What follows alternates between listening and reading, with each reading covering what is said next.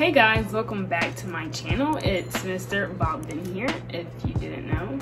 But anyway, as you can see in today's video, I'm going to be crocheting, seeing how much I can crochet for an hour.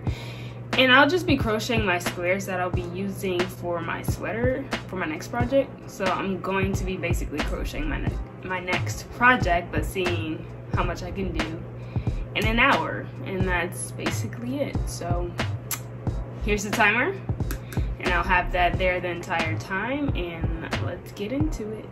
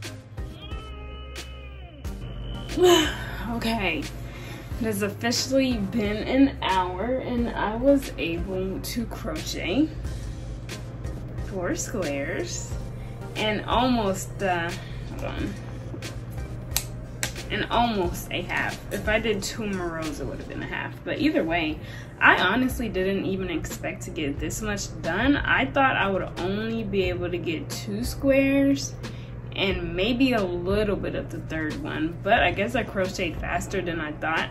Well, I crocheted faster than I usually do. Maybe because of the timer, I don't know, but my fingers are flying. But yeah, this is all I was able to do, which is pretty good for an hour. And these squares are big, like they're not little squares. So I think they take around 13 minutes per square. So yeah, ta-da. But anyway, I hope you guys enjoyed the video. And if you did, don't forget to like, comment, and subscribe. And I'll see you guys in my next video. Bye.